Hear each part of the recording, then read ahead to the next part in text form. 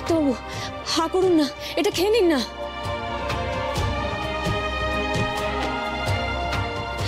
গিলে নিন ডাক্তারবাবু, দয়া করে গিলে নিন।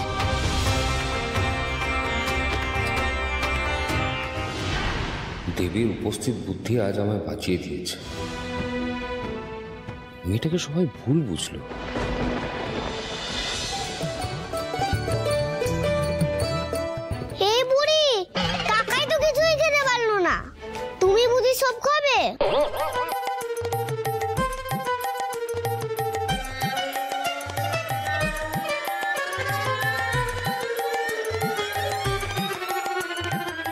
এই তুই কি বললি আমায় বুড়ি?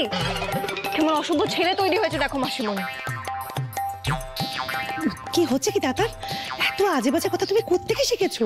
তোমরাই তো বললে যার বিয়ে হয়নি সেই আই বুড়ো। তাহলে কাকাই আই বুড়ো আর তমসা দিদি আই বুড়ি। হা ভগবান তোকে কিছু শেখানো মুশকিল। এই নন্দিতা তাতানকে এখান থেকে নিয়ে যাও। দিন দিন ওর পাকামো বাড়ছে। একশোবার বলব বুড়ি বুড়ি বুড়ি। দুষ্টু বুড়ি হিংসুদি বুড়ি।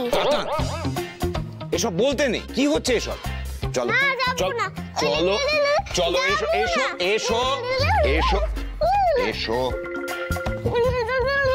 চলো চলো।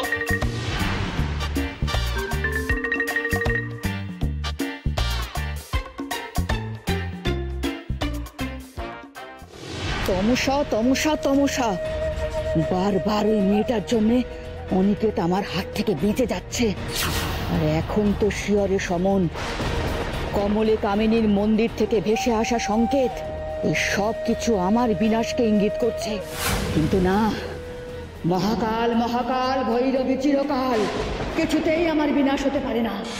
অনিকেতকে যেভাবেই হোক সরাতেই হবে। তাহলেই তমসার শক্তি না হবে। চিরতরে সরিয়ে দিতে হবে। কাকে সরিয়ে দেবার পরিকল্পনা করছেন মা?